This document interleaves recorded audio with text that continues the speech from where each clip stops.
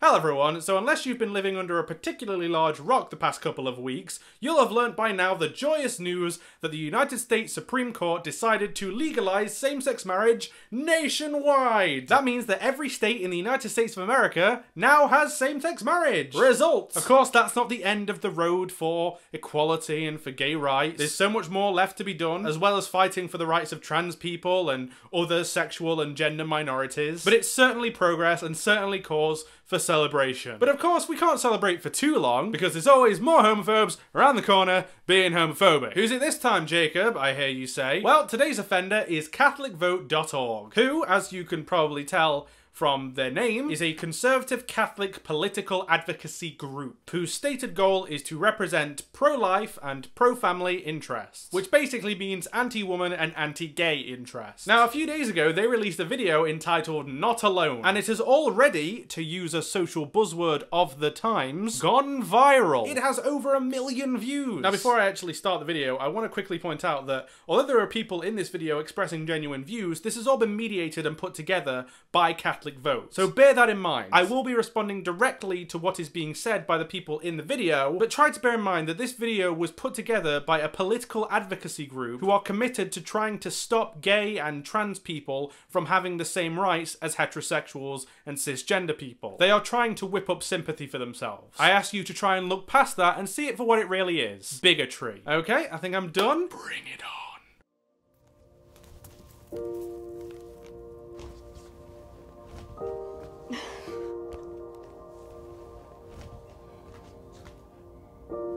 A little bit nervous about people um, kind of hearing that I am this way and then thinking, um, uh, well, sh- you know, she's not welcome here. Um, sorry. You don't get to tell people that they shouldn't have the same rights as you, that they shouldn't be able to marry, and that they'll burn in hell forever because they're gay, and then turn around and expect everything to be hunky dory. So you can cut that shit out.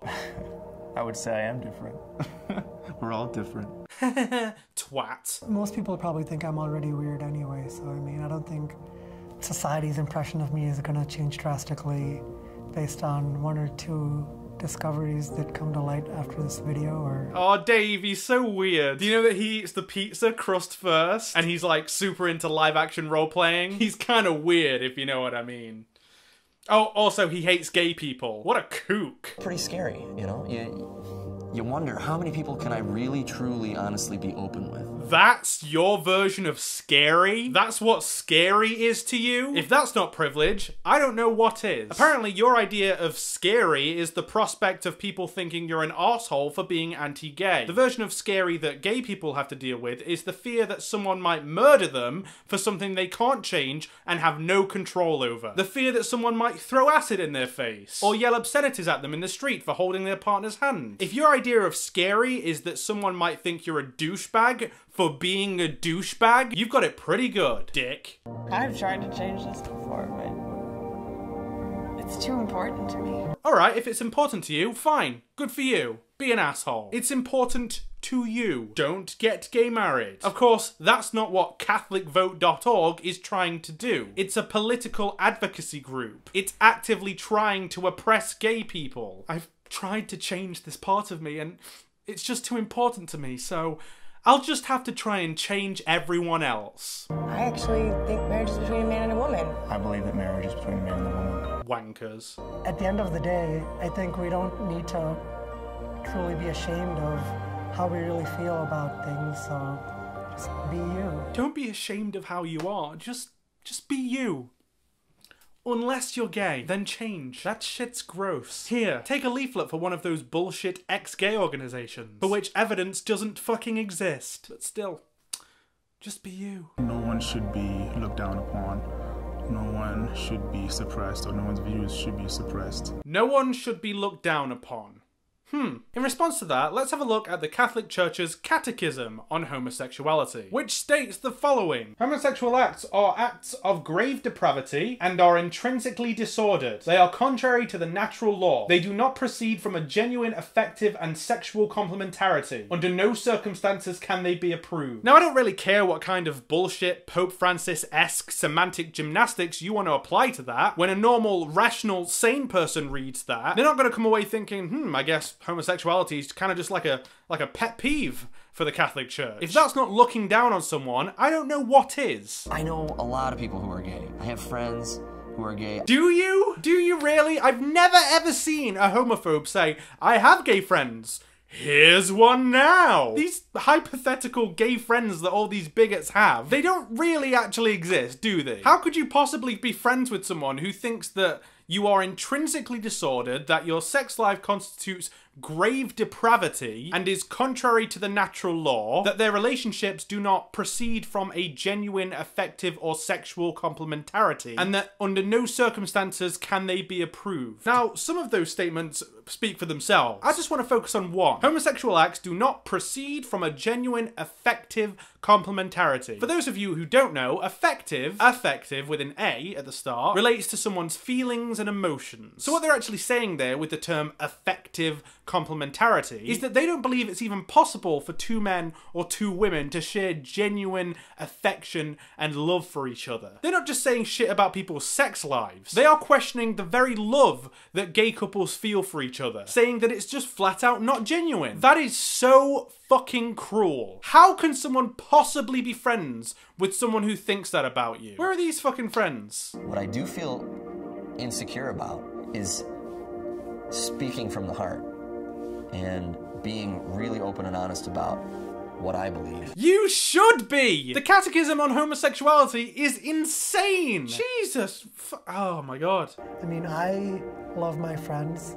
Several of them happen to be gay. What friends? Who would be friends with you? Unless you just haven't told them that you think this about them. How could someone possibly be friends with you when you believe this kind of shit? It's like someone saying, you know, I have tons of black friends. I just happen to believe, as a personal choice, that black people are cursed and they are members of the mud races. But like I said, some of my best friends are black. I just kind of hate them. How would it not be the case that the ever loving creator who gave us everything we have doesn't love us? Um, I don't know. Perhaps because, according to the Catholic Church, if gay people don't feel guilty about their natural impulses that they have no control over and were arguably bestowed upon them by God Himself, God will send them to hell to burn forever. Does that sound loving to you? Where's that balance? You know, where can you say, no, I'm not going to be a part of this, but still respect someone. You can't! It's an inherently disrespectful stance to take! Am I going out of my fucking mind? You know, where do you where do you find that balance between saying,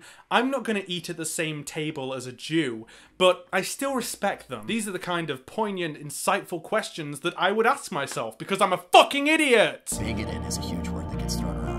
It's just not true. Yes, it is. That's exactly what it is. And I'd like to point out that at this point in the video, they don't continue on to explain why it's not true. They just say, it's not true. It's not. But why isn't it true? It's just not, you know? It's just, you know, it's not. You cannot have a society of hatred or a society of bigotry. This is beyond parody now. And part of that is because they are specifically co-opting the language of pro-gay rhetoric, saying, you know, we shouldn't judge each other. You can't have a, a society based on bigotry. I just personally believe that when God looks down and sees Adam giving Steve a rusty trombone, he throws up in his mouth a bit. The best way to kind of break down all these barriers, sorry, is to just get to know people one-on-one. -on -one.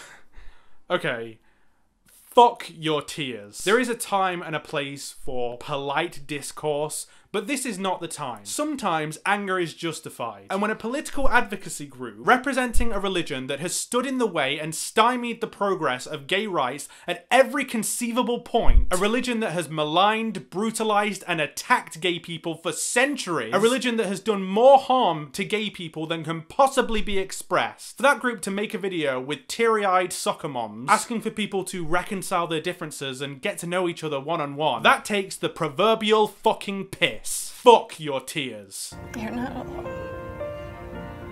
You're not alone. You're not alone. Yeah, unfortunately, there are more of you. And that's how the video ends. Bullshit soulful music playing. I feel like Macklemore's about to start rapping. Again, a lot of people will probably watch this and think, there's no need for that level of anger. I'm sorry, but this shit makes me angry. And frankly, it should make you angry as well. The Catholic Church is by no means the only organization or institution that has hurt gay people. But the Catholic Church is the largest single religious body on the planet. And for literally centuries, it has done all it can to stop the progress of the gay rights movement. It has stood in the way at every possible point. So, for Catholics, whether it's the Catholic Church itself or a politically aligned group, to come out and now ask for reconciliation and a sit down at the table, getting to know each other style chat is insulting beyond belief. This is an organization that is actively opposed to LGBT rights, and they are just now starting to feel like the tide of opinion is turning against them, and they've started playing the victim card. Well, fuck you, Catholic vote. Fuck all the people in this video. Sometimes anger is justified.